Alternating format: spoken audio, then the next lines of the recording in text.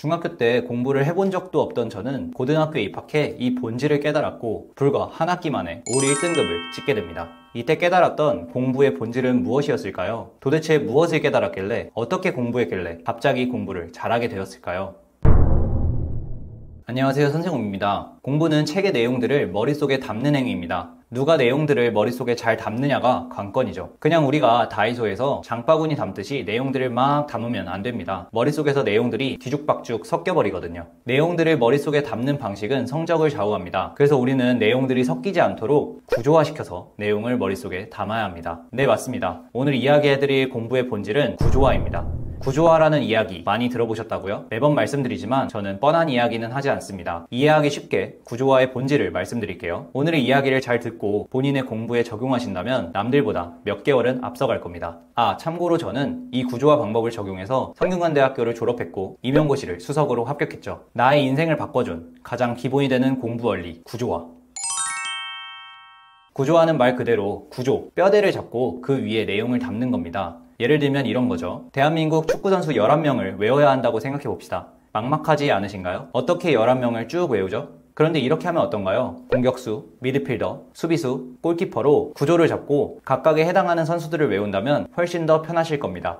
더 구조화를 시켜볼까요? 왼쪽 공격수, 중앙 공격수, 오른쪽 공격수 이렇게 구조를 설정하면 각 자리에 한 명씩만 외우면 되는 거죠. 자, 감이 오시나요? 우리는 기본서의 내용들을 무작정 외우고 그냥 머리에 담아서는 안 됩니다. 먼저 이런 구조를 잡고 나서 그 안에 내용들을 넣어야 하죠. 그런데 대부분의 사람들은 구조를 잡는데 시간을 쓰지 않습니다. 그냥 내용들만 넣어버리죠. 구조가 잡히지도 않은 채 머릿속에 넣어버린 그 내용은 단기 기억일 뿐입니다. 하루 지나면 내용을 까먹고 일주일이 지나면 내용이 아예 기억도 안 납니다. 이렇게 공부해서는 절대 시험에 합격할 수 없습니다. 자, 잘 따라오고 계신가요? 이 구조화에 대해서 좀 더 파고 들어 볼까요? 공부 이야기는 너무 재미없으니까 여행 계획을 짜는 거로 생각해보죠. 우리가 유럽을 간다고 생각해봅시다. 유럽 여행 계획 짤 때 뭐부터 하시겠어요? 맞아요. 여행할 나라를 먼저 정하겠죠. 영국, 프랑스, 이탈리아 이 세 개의 나라를 가기로 정하고 그 다음엔 뭐를 할까요? 맞아요. 도시를 정하겠죠. 영국에서 갈 도시, 프랑스에서 갈 도시, 이탈리아에서 갈 도시를 정하게 될 겁니다. 그 다음엔 뭐를 할까요? 그렇죠. 그 도시 내에서 어떤 관광지들을 갈지 정하게 될 겁니다. 그리고 나서는 뭐를 할까요?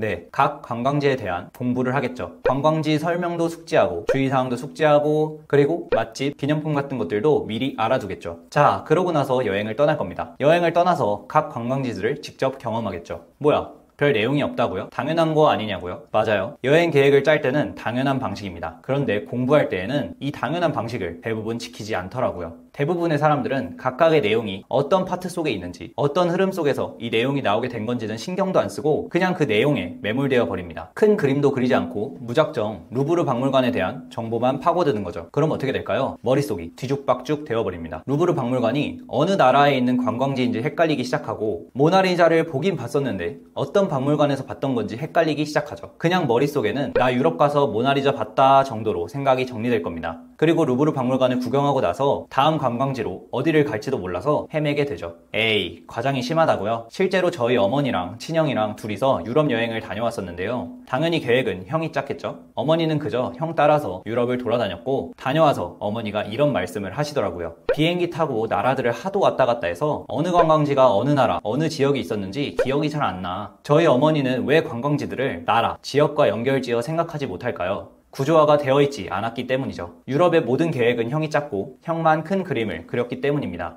어머니 머릿속에 각 관광지들은 유럽의 파편 조각일 뿐이죠. 이런 상태에서 유럽에 대한 시험을 본다면 그 많은 관광지들을 다녀왔음에도 불구하고 어머니가 과연 높은 점수를 받을 수 있을까요? 자, 공부도 마찬가지입니다. 대부분의 사람들은 저희 어머니가 형을 따라 유럽 여행을 다녀온 것처럼 공부를 합니다. 전체적인 그림은 거들떠도 보지 않고 각 관광지에 대해서만 파고들죠. 파고드는 건 좋습니다. 하지만 큰 그림 속에서 각 관광지를 살펴야 합니다.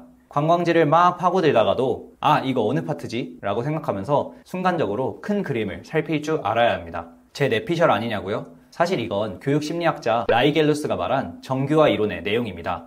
줌 아웃을 해서 큰 그림과 구조를 잡고 줌 인을 통해서 각 관광지를 파고들어야 하죠. 이렇게 줌 아웃과 줌 인을 자유자재로 사용하는 사람이 내용들을 머릿속에 오래도록 가지고 있을 수 있고 시험장에서도 문제들을 풀 때 내용들을 쏙쏙 뽑아내서 활용을 잘하게 됩니다. 그래서 이런 말도 있잖아요. 목차를 들고 다니면서 외워라. 목차를 외우면 큰 그림, 구조가 자연스럽게 잡히니까요. 그러니 각 개념을 파고드는 것도 좋지만 순간순간 생각해 봐야 합니다. 이거 지금 어느 파트지? 내가 지금 어떤 내용 속에서 이 내용을 파고들고 있는 거지? 라고 생각하며 순간적으로 줌 아웃해서 전체 그림을 보고 그리고 나서 다시 줌 인해서 내용을 파고들어야 합니다. 제가 공부를 못하던 중학교 시절에는 오직 줌인만 했었던 것 같아요. 하나의 개념, 이 개념에 대해서만 막 파고들고 선생님이 찝어둔 내용, 선생님이 이야기한 내용만 막 외웠습니다. 하지만 전체적으로 유기적인 흐름은 절대 파악할 수 없었죠. 그래서 단순히 그 개념 자체를 물어보는 문제는 맞출 수 있었지만 전체적인 흐름을 보는 그런 문제는 맞출 수 없었습니다. 또한 이렇게 각각의 개념들만 봐서는 이 넓은 범위를 여러분 머릿속에 오랫동안 가지고 있을 수 없습니다. 항상 명심하세요. 내가 지금 파고들고 있는 내용이 어떤 파트의 내용이고 어떤 세부 파트의 내용인지 머릿속에 그려져 있어야 됩니다.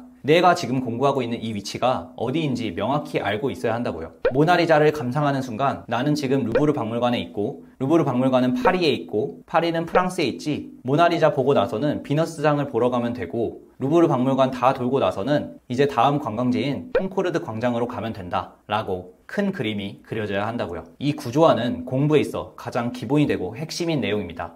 노트 정리를 할 때, 학원 수업을 들을 때 모두 적용해 보세요. 남들보다 몇 개월은 앞서갈 겁니다. 이 중요한 이야기인 구조화를 10분 내에 깊게 설명하긴 어렵지만 느낌은 알아차리셨을 거라 생각합니다. 혹시나 이해가 가지 않는 부분이 있다면 꼭 댓글로 남겨주세요. 보다 풀어서 설명해 드릴게요. 오늘의 이야기는 여기서 마무리하겠습니다. 공부하시느라 고생 많으셨습니다. 여러분의 찬란한 수험 생활을 응원하겠습니다. 오늘의 이야기가 도움이 되셨다면 구독과 좋아요 부탁드립니다. 채널을 운영하는 힘이 됩니다. 그럼 안녕.